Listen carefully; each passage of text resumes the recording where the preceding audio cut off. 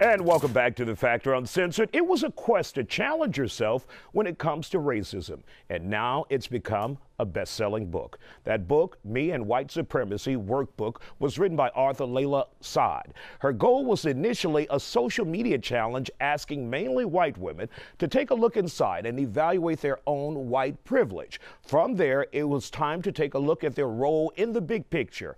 Are they complicit in white supremacy? That challenge, that book, that experience became a movement. You may have heard of it. Hashtag me and white supremacy. Joining us now here on The Factor Uncensored is author and speaker Layla Saad, who just landed in Houston, Russ Tien, who is on The Factor Uncensored. So tell us about this challenge. How did it get started first initially? Well, Isiah, do you remember in 2017 the Unite the Right rally happened in Charlottesville? Yes, Virginia? I remember that. Right, we all remember. That event triggered me deeply, and so I decided to write to my base, who were mainly white women. I wrote this letter to them called I Need to Talk to Spiritual White Women About White Supremacy. And it went viral. Mm-hmm. And a year later, I started wondering what have they learned about themselves in white supremacy? And so one night, I was trying to fall asleep, couldn't. I started thinking, what have they learned? What is white supremacy? And I created this list of different aspects of white supremacy, created it into this 28 day challenge, threw it up on my Instagram page. And to date, almost 100,000 people have taken the challenge. And so, when you initially got some of the responses from some of your viewers and readers out there, what were they saying? What were they admitting to? It was interesting what came out because a lot of people often assume that what, what white supremacy is, it's racial slurs, the N word, it's the men marching with torches in Charlottesville. But what they actually found and what white supremacy actually is, it's this insidious underlying thing.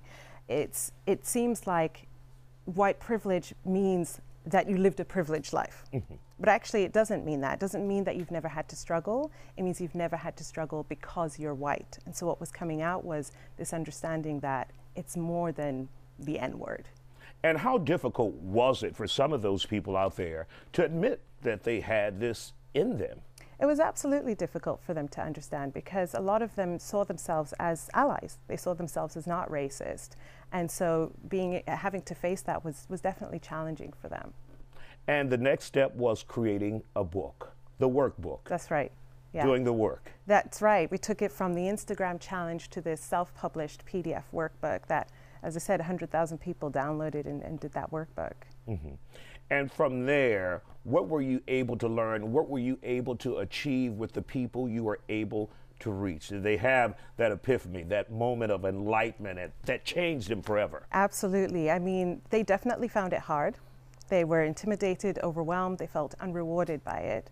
But what tens of thousands of people found was that they now changed how they showed up in their relationships towards people of color um, and how they showed up in the world as, as actual allies for those who will not accept that they may have this in their system, how can you reach those people? Absolutely. So, this book is definitely for everybody who has white privilege to do, but I understand that not everybody gravitates to this work. And so, it is my hope that those who do want to be on the right side of history, they do want to do the work, that they will go through the book and then they will be able to have those conversations with those, those people. And for those who are wondering, uh, and people hear it and it's thrown around, it was a phrase coined back in 1988 by an author. How damaging for those who practice white privilege or who, ha- who may have white privilege yeah. and don't realize it, how damaging could it be to society or people of color? It's absolutely damaging for us.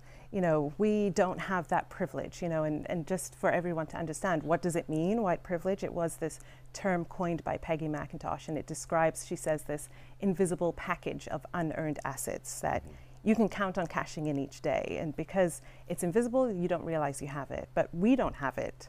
We cannot move in the world in the same way that those who have white privilege can. Now, is this a book solely for those who are looking for redemption, or is it for everyone who's ready to read it and apply it in their own particular uh, uh, life or situation that they're going through? It's definitely, as I said, for everybody who has white privilege to do. Um, but it's definitely. So it ain't for me. It's not for you. you might get a lot from it. What if I got black in term, Well, you might get a lot from it in terms of your understanding uh-huh. of these different terms, but it is for, for white people and people with white privilege. Does it feel like a burden, though, when you tell them this is what you're doing, this is what you're dealing with, fix it? they definitely find it challenging. It's not, you know, I don't sugarcoat it. It's hard work. It's definitely hard work. And really quick, you're at Brazos Bookstore tomorrow. What Best time here in Houston? 5 p.m. tomorrow, Brazos right. Bookstore. Thank you for joining us. Thank we appreciate it. Me. Continue to do the work. Thank you.